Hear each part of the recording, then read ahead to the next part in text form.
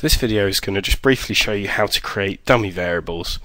Now you're going to need to create dummy variables for your regression analysis whenever you've got a nominal variable with multiple categories or sometimes when you've got a ordinal variable that you'll want to convert. So in this example we'll look at social economic class. Um, let's have a quick look at the social economic class variable to, to see what we're talking about. So if we go to the SEC uh, row and then along to the column marked values, we can click on the corner of that cell to see how the variable is actually coded.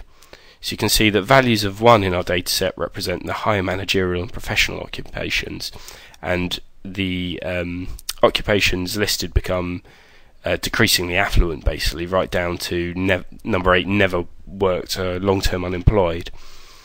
Um, so what we need to do is actually we'll need to create a series of dummy variables where, whereby each each variable looks at a direct comparison between one of those categories as a reference category and the category each dummy variable represents.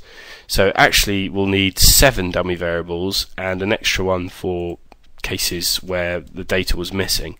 So we're going to actually be creating eight dummy variables to represent this one nominal variable. So what we need to do is we need to choose a reference category. Now in this case we've gone for never worked long-term unemployed because that will make the most interesting comparisons when we when we come to look at the regression analysis.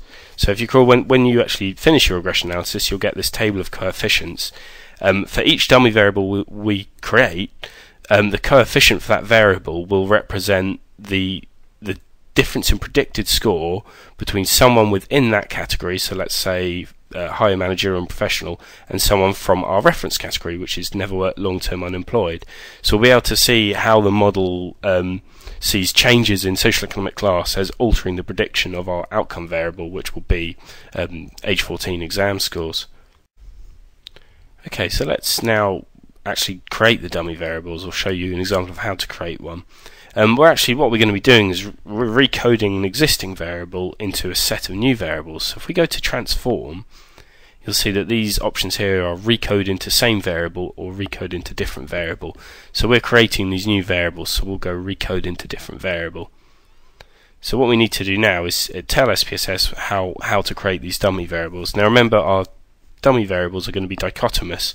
Um, for each category, a, a 1 will represent that the participant belongs to that category, and a zero will represent that they do not. So across all of the different dummy variables, actually all of the categories will be represented in our in our final analysis if we include all dummy variables into the model.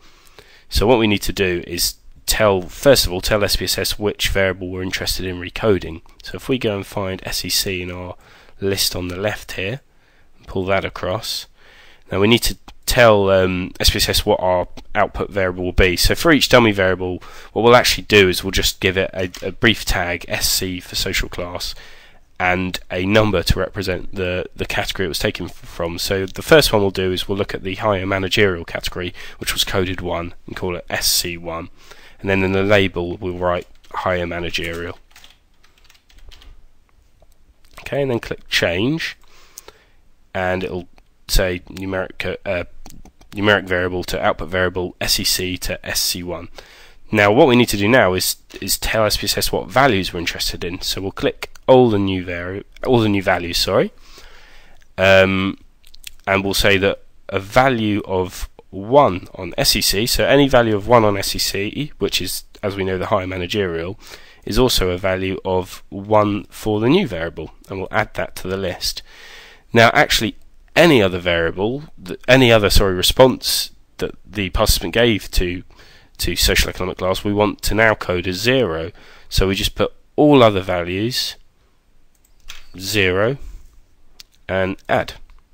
So there we go. We have else goes to zero. So basically, if they belong to the manager, higher managerial category, they'll receive a one. Any other value they give for SEC, they'll receive a, a zero for this new variable. So we just need to click continue and then OK and the output box will, will click open we actually just need to go back to our data set just to check that that worked